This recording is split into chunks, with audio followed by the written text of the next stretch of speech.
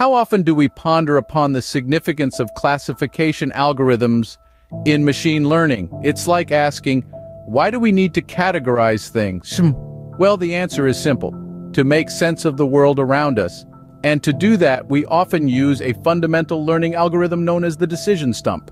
Imagine a game of 20 questions. You're the guesser and the other person has thought of an object. You can only ask yes or no questions to figure out what it is. A decision. Stump works similarly, except it has only one question to guess the answer. It's like playing a very short round of 20 questions where you have just one chance to ask the right question. A decision stump, in essence, is a one-level decision tree. In machine learning, a decision tree is a flowchart-like model where each internal node denotes a test on an attribute. Each branch signifies an outcome of the test, and each leaf node holds a class label. Now, if you simplify this model to its most basic form, where it only has one internal node directly connected to the target variables, you get a decision stump. It is the simplest form of a decision tree, hence the name stump.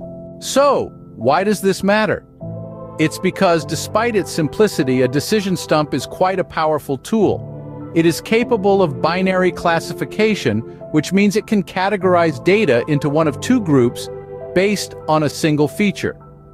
This makes it incredibly useful in machine learning, especially when combined with other algorithms to create more complex models.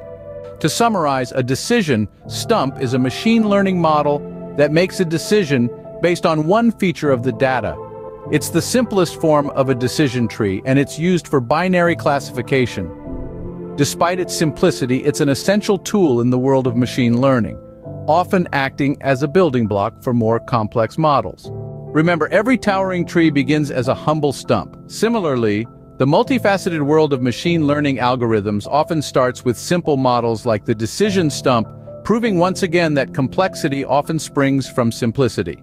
So the next time you delve into the world of machine learning, don't forget the humble decision stump a simple model with profound implications.